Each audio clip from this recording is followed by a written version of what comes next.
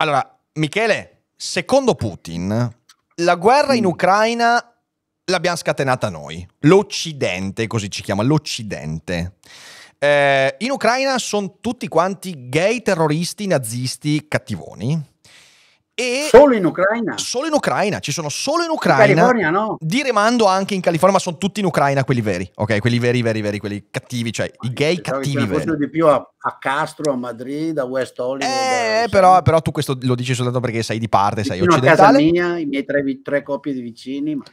E poi, e poi, secondo Putin, e su questo forse è l'unico punto su cui ha ragione, le minacce legate al nucleare possono veramente fare la differenza nell'opinione pubblica occidentale, perché anche in questo discorso, peraltro discorso in ritardo di sei mesi, si aspettava l'anno scorso e poi invece non l'ha fatto, eh, è finito per dire che lui eh, ritira la Russia dal trattato START, che è il trattato di non proliferazione, e oggi su giornali, social e via dicendo, tutti a dire...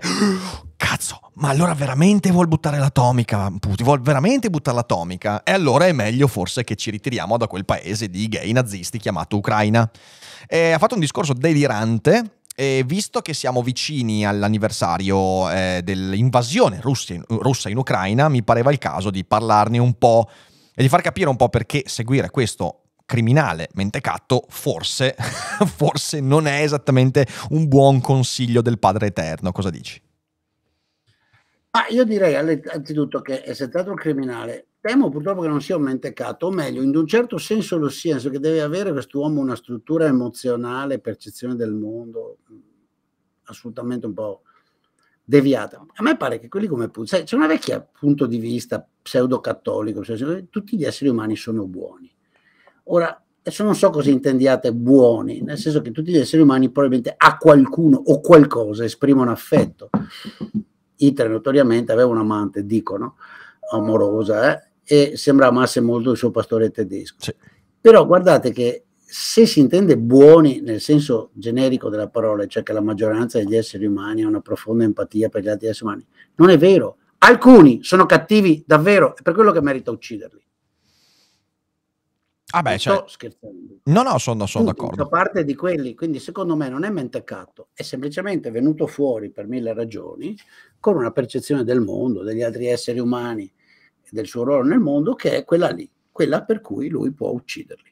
Ed è bene ucciderli, se hanno certe caratteristiche vanno uccisi, se non vanno uccisi vanno messi in prigione, vanno umiliati, vanno repressi, vanno sbeffeggiati, se sono donne vanno violentate, se sono bambini vanno deportati e così via. Uh, e questo è ribadito. Ovviamente a tutto questo dà una giustificazione ideologica, che noi siamo depravati, drogati, eccetera, eccetera. Ma se ci pensate, quella giustificazione ideologico-religiosa era andata a tutti i cattivi del mondo. Tutti. Certo. Cioè sono quasi sempre presa con, con quelli lì. Adesso se la prendono meno con le donne, ma solo indirettamente. Avrà menzionato le donne di sicuro, ce l'avrà con l'aborto di sicuro, ce l'avrà col fatto che c'erano le minigone che quando lui ordina non gliela danno e cose di questo tipo. Uh, e, e Anche perché non può più andare a fare i festini ad Arcore. Sta, perché sa che, eh? Anche perché non può più andare a fare i festini ad Arcore, quindi mi sa che da quel punto di vista lì ne vede poca. Beh, insomma, una persona nel suo paese purtroppo ce ne sia. Ecco. E suppondo...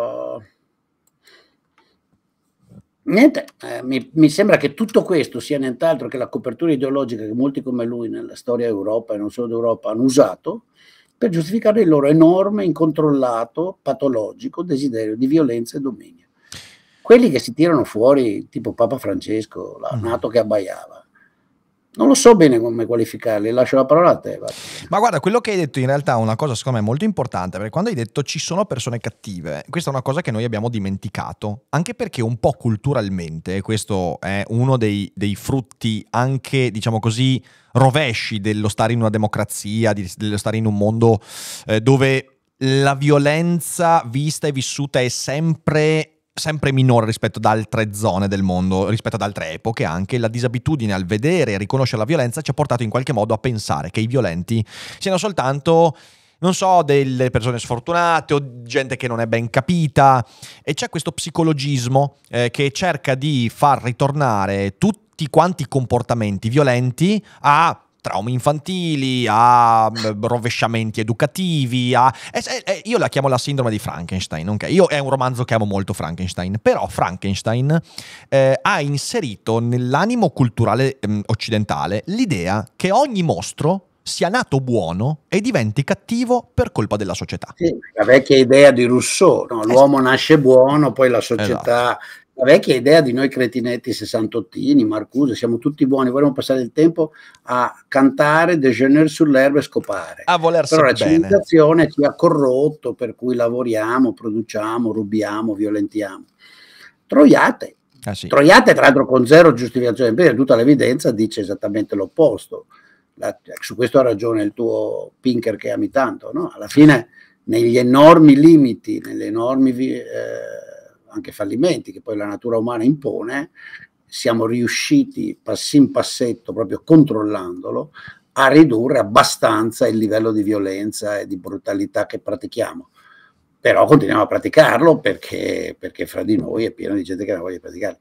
E la percentuale di quello che è spiegato dalla famosa società cattiva è francamente poco, specialmente se per società cattiva si intende la città che permette a, a Ricca e Michele di parlarsi. E, Certamente. Insomma, la società capitalistica. Capitalistica di libero mercato, questa roba brutta, brutta, brutta. Eh, però, vedi, eh, eh, ti è partito qualcosa. No, eh, questo, questo, questo, è un punto essenziale. Un messaggio di un russo. Perché se da un, se da un lato c'è appunto, eh, se voglio fare un parallelismo eh, che, che, a me è molto caro, da un lato tu hai il Frankenstein, quindi appunto il mostro che è cattivo perché lo fanno diventare cattivo, dall'altra parte per esempio se vogliamo appunto fare questo, questo paragone c'hai Dracula, ok? Dracula è un romanzo a cui mi sento molto legato perché l'idea espressa nel Dracula è che ci sia un qualcosa che serpeggia all'interno dell'umanità che non è razionalizzabile. Cioè, quando Van Helsing si trova di fronte al vampiro, lui dice chiaramente: c'è questa bellissima pagina in cui lui dice: No, col vampiro non ci puoi ragionare. Col vampiro non puoi star lì e metterlo sul lettino del dottor Freud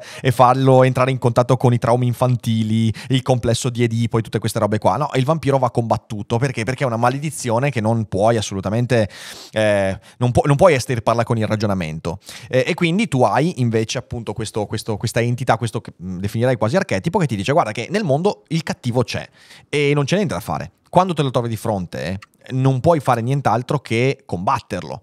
Eh, e Putin nel, in quest'anno ha incarnato questo aspetto, perché anche nel discorso di oggi le palesi menzogne. Le palesi menzogne, ma una su tutte, il fatto che sia l'Occidente aver scatenato la guerra sempre con quella balla di propaganda, che è una balla dimostrata non da governi, non dalla CIA, non da Biden, ma da ONG, ovvero che in Donbass ci fosse in qualche momento degli ultimi vent'anni un dominio neonazista che massacrava e stuprava e distruggeva, quella balla è stata ancora una volta al centro di questo discorso.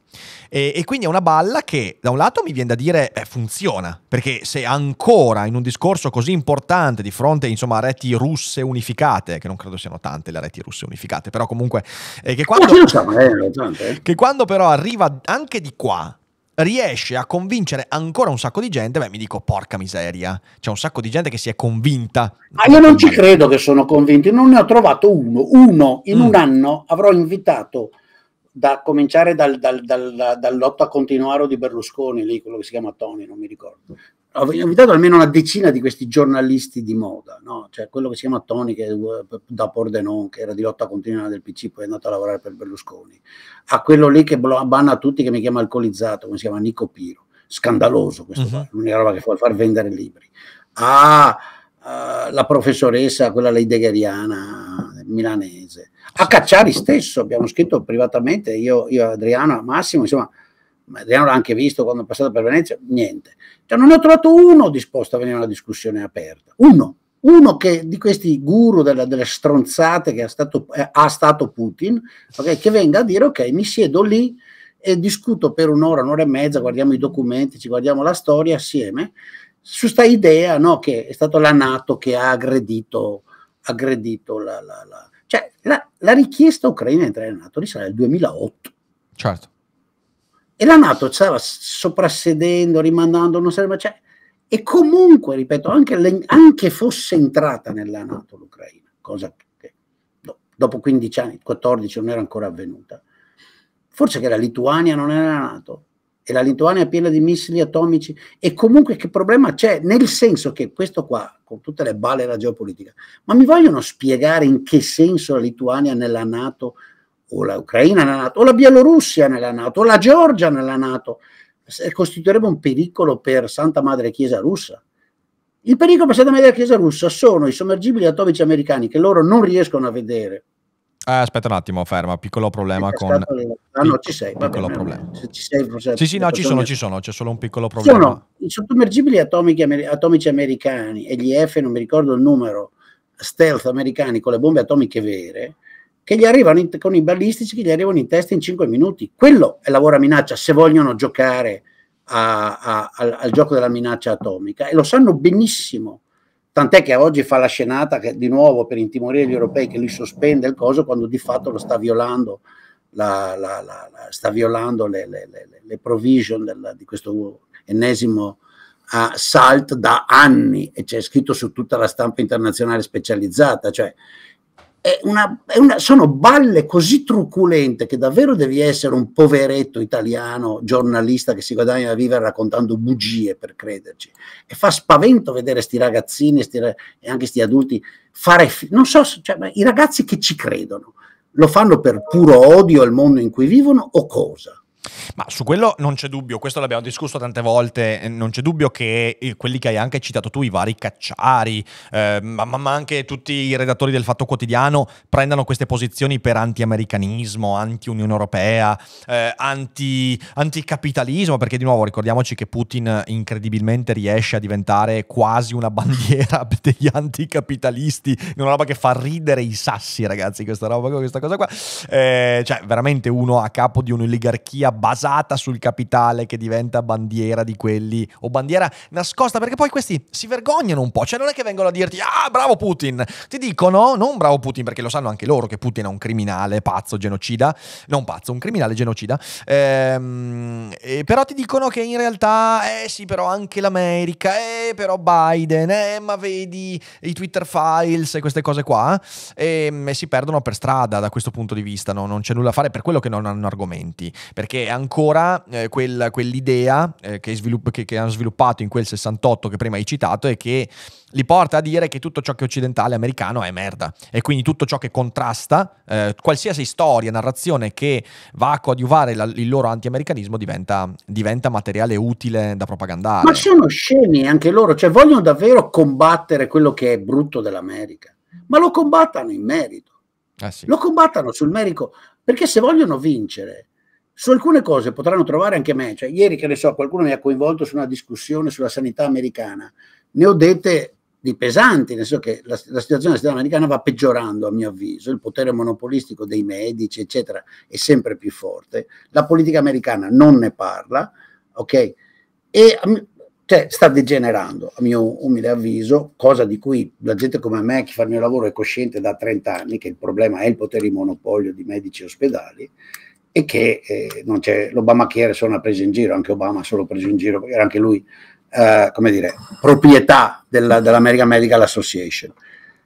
Ma vogliono combattere quella roba lì, si focalizzano su quella roba lì, perché se arrivano, che focalizzano su quella roba lì, che la sanità non funziona, bla bla bla, e poi mi dicono che sono con Putin, e perdono gli alleati. Scusa, salute. Della polvere sul naso, perdonate, adesso sto prendendo 3-4 volte perché ho sentito entrare polvere. Non ti, non ti preoccupare, non ti preoccupare.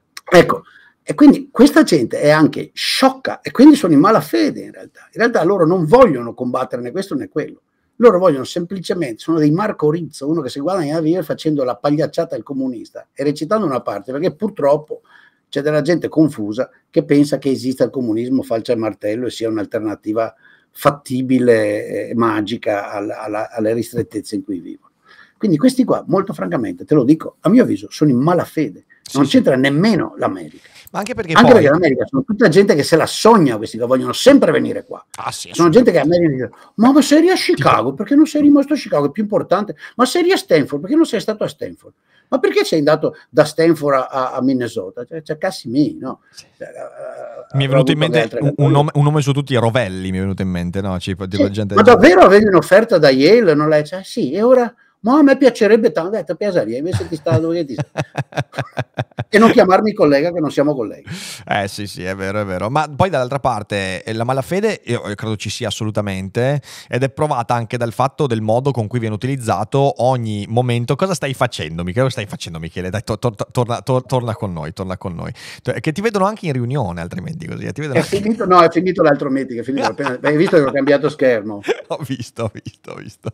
Eh, mi sono messo perché adesso ti ho spostato sullo schermo occupato da loro e faccio le facce, non devo più nascondere. Smetti di far casino con le videocamere e con i microfoni che poi ti perdiamo di nuovo. Eh, no, comunque... comunque... Adesso siamo rimasti solo tu, io e 1200 spettatori. Solo io, tu e io e 1200 spettatori. 1300 ormai comunque, mettete mi piace. E... 1300 giovani e forti. Comunque, no, dicevo, eh, questa malafede si vede anche del modo in cui viene utilizzato ogni volta eh, l'argomento del nucleare che viene utilizzato da, da, da Putin. Cioè anche questa cosa qua del... del... Sì, basta, cosa basta, del nucleare. Basta avere, basta avere, un minimo di conoscenza storica per sapere che sono ormai, cosa sono, eh, cinque anni, eh, io leggevo oggi un articolo sul, sul, New York Times che dicevano sono cinque anni che la Russia viola il New Start. New Start è stato voluto da Obama, è stato esatto. firmato, eh, si doveva arrivare al 75% di riduzione di eh, testate nucleari, a conti fatti gli Stati Uniti è una cosa che hanno fatto, eh, la Russia l'ha fatto fino al 2016, 17, 18 e poi ha smesso, guarda caso, ha, ha smesso dopo la, la, sua invasione della Crimea nel 2014. Eh, anche lì, cioè nel senso, tutti quanti però a dire, oh mio Dio, adesso la Russia esce dal New Start.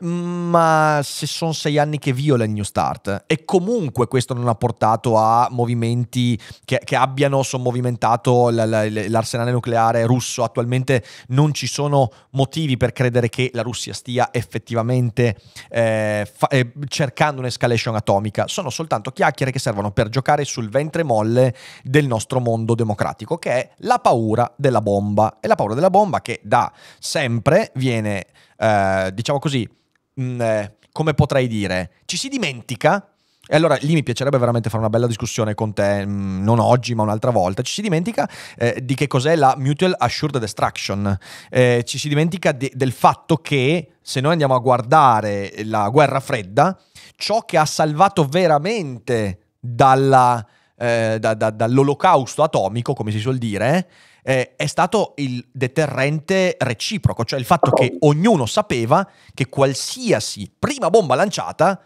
sarebbe stata seguita da una serie di inevitabili bombe che avrebbe distrutto tutti e tutto. Oggi non siamo eh, messi diversamente. E, però ancora dopo un anno di eh, conflitto, Putin dice qualcosa sul nucleare e ogni volta lui cambia un filino la versione, guarda te, e tutti quanti, oddio, ma allora c'è la possibilità, ma allora c'è la possibilità. E, ehm, e lì vedi un po' la malafede, un po' infatti, il fatto che la nostra, la nostra um, opinione pubblica non è abituata a gestire l'emotività, ecco, questo è un problema piuttosto forte.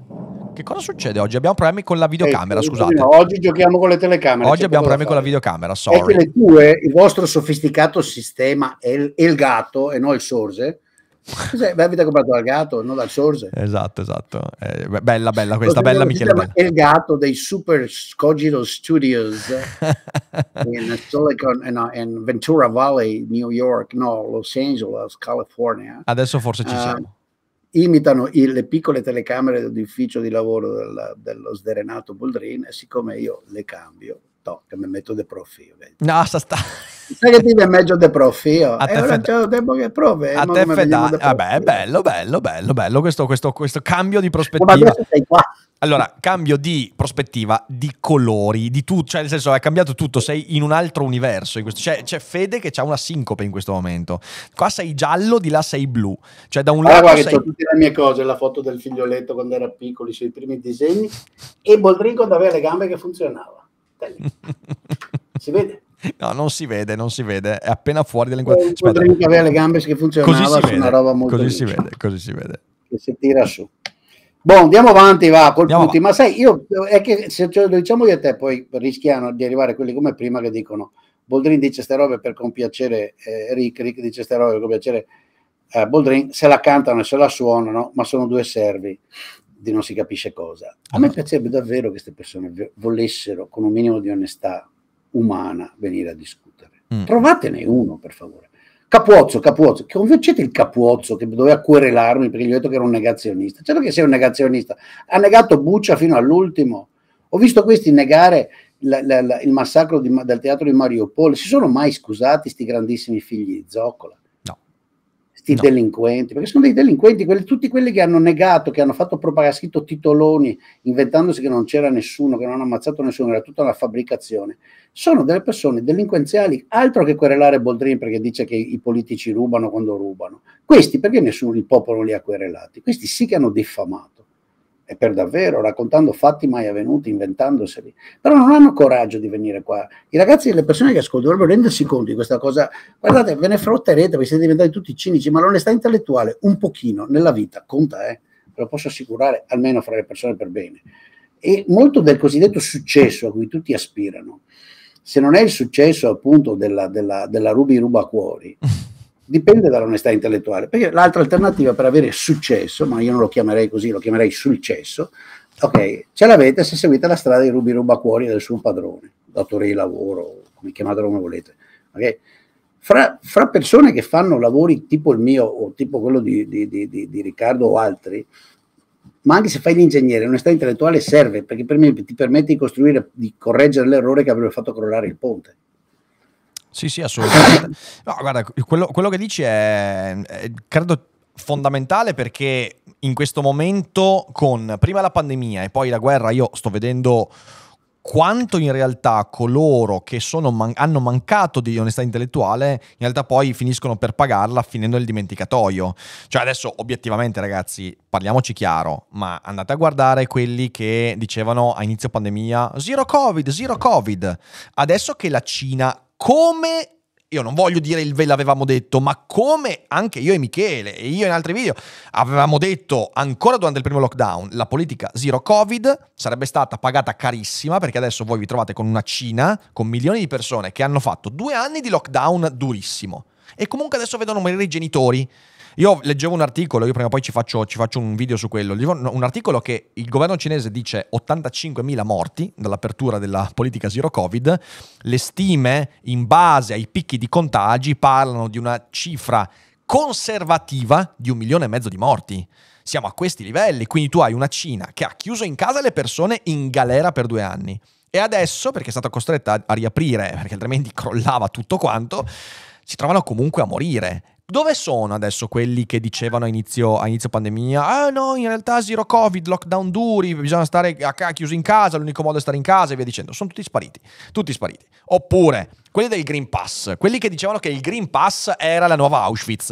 Il Green Pass è stato fastidioso, indubbiamente. Sono stati sei mesi di fastidio, fastidio. Effettivamente, ve lo dico, è stato fastidioso anche per me che facevo anche gli eventi dal vivo e porca miseria, erano rotture di coglioni.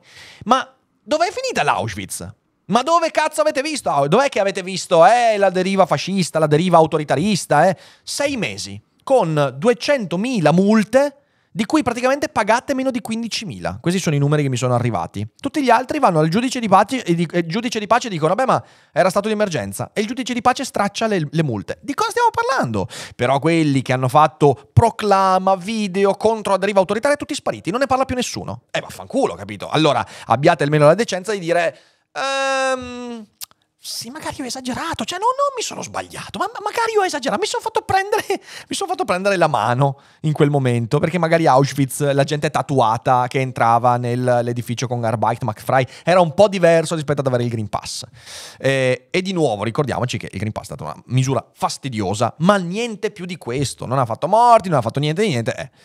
E adesso c'è questa roba della guerra. Ok, allora mi chiedo quando poi si arriverà effettivamente ai, alla, alla, fine della fiera. Prima o poi, eh, temo più poi che prima, anche questa vicenda troverà il suo epilogo, eh, che speriamo non sia triste come tanti sperano. Eh, dove starà chi avrà detto qualcosa che poi è stato contraddetto dai fatti? Bisogna sempre sparire, giocando su cosa? Sul fatto che abbiamo la memoria corta, perché poi è questo il punto, eh. Tutta questa gente spara puttanate per propri interessi soltanto nella speranza, ovviamente nella speranza di imbroccarci. E poi se non ci imbroccano dicono, vabbè, tanto la gente se le dimentica queste cose. Ed è veramente una schifezza questo atteggiamento, è veramente una schifezza.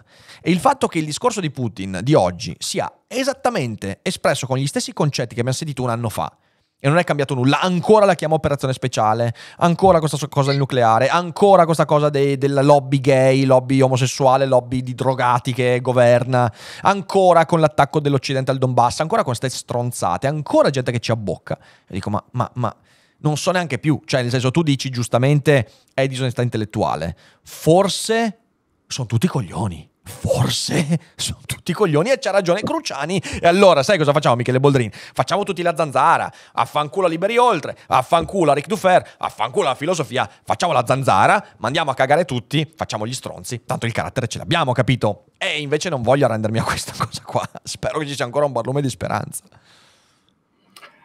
Ma non so se... Allora, sì, credo che la, la, frase che dice ci sono un po' di coglioni è vera. Tu ricordi, l'avrò tirato fuori in questi ormai sono quattro anni che ci parliamo, non settimanalmente, ma quasi, insomma. Uh-huh. Io tiro fuori spesso questa cosa che mi ossessiona, su cui, ecco, pubblicità progresso, parlerò alla serie della Cattolica di Milano. A questo punto ho deciso di accettare di andare, devo organizzare il viaggio, perché, vabbè, il giorno 17 marzo. A, credo, No, il giorno 15, scusate, il giorno 15, mm-hmm. forse il 17 sarò all'Università di Trento. Ah, a proposito, non all'Università di Trento, forse sarò a Trento, dove l'Università di Trento ha boicottato l'invito fatto all'organizzazione di studenti, i quali hanno trovato, sembra, la Cassa di Trento che gli offre ospitalità, quindi ci sarò. E tanto per far contento Roventini, credo che l'8 giugno sarò alla Scuola di Sant'Anna, all'Università di Pisa, a, a, raccontare delle cose. Tutti Vabbè, contenti. Eh, tutti... Sai che, aspetta, ti interrompo, sai che, che um, per colpa... Tutto gratis, eh, non faccio che... a pagamento, non c'è da comprare il biglietto come Eric. Sai che, sai che per via... Vaffanculo. Sai che... Sai... Tu sei pagato dai poteri forti, noi no. Eh, sai che... Però d'ora in poi mi faccio pagare spese e viaio. È ora, è ora. Gratis, sai che, sai che a causa della nostra chiacchierata su Incel, Incel e femminismo e via dicendo, eh, è stata hanno, un'associazione ha boicottato una mia ospitata in un evento in cui dovevo mh, discutere di femminismo. Ho detto no, se c'è Rick Dufer, quello che parla con Boldrin di Incel e femminismo, no. è stato... Chi sono, cioè, ma quelli sono gli incel o i femministi? Che no, femministe, femministe, femministe sono incazzate. Anche gli incel sono incazzati. Ma però quelli sono... incazzate che abbiamo detto quasi che, insomma, che ci sono dovrebbero essere stati quelli degli incel. No, comunque, comunque sappi che, che, che, siamo, che, che c'è, c'è, c'è, c'è la situazione femminista tonta. C'è del boicottato. Beh, madonna santa, è pieno. Qui che conoscevo me non avrei mai detto una roba del genere. E invece, e invece. no, comunque dai, torniamo, torniamo, torniamo al, um, all'argomento, così poi andiamo a concludere e rispondiamo a qualche domanda. Cosa stai facendo? Torniamo a rispondere a qualche domanda. Ma davvero, organizzate, voi che siete influencer, convincete i Capuozzo, i Piro. Giuro, a Piro non lo bastono. Mi ha insultato, mi ha detto alcolizzato, se bevesse. Cioè. Poi questo periodo che, con la storia che ho deciso, oh, sono arrivato a 79 kg e mezzo, ragazzi, sono contentissimo. Ah, che torno a 75 per andare a scalare. Guarda cosa faccio finché parlo con Rick. E tu sei distrattissimo, cioè oggi sei distrattissimo. Non sono distrattissimo, sono qua che ti seguo.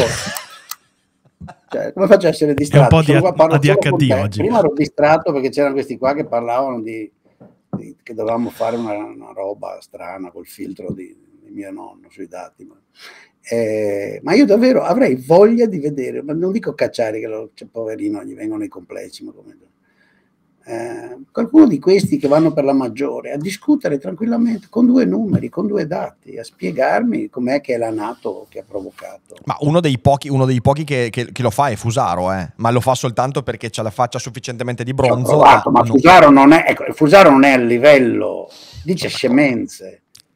Sì. Cioè, Fusaro ci ho dibattuto una volta, povero Diego, cioè, è, è un ragazzino. Eh, però è molto seguito. Però è molto seguito. Non sa le cose ha, una, ha eh, sviluppato una particolare, particolare ars retorica molto abile, fatta di nomi e, e parole con almeno cinque sillabe, e infiocchetta sempre le stesse frasi. L'ho fatto un dibattito con Diego, ma non è divertente, ti viene da ridere. No, no, c'è uno serio. Vabbè. Zoc. bello, bello, mi è piaciuto, mi è piaciuto. Avevo detto che ma durante, durante, durante, la live, la live d- mm, lunga di Liberi Oltre c'è qualche ospite contrario o non siamo riusciti a raccogliere proprio nessuno? No, noi li invitiamo con piacere e se qualcuno davvero c'è una live Liberi Oltre che inizia alle 4 di mattina del venerdì 24 e continua praticamente fino per 48 ore, fino a più o meno a mezzanotte al 25. Mm-hmm. ci collegheremo con tutti. A questo punto sono 70-80 i sit-in in giro tra Italia e il resto ah, sì. d'Europa.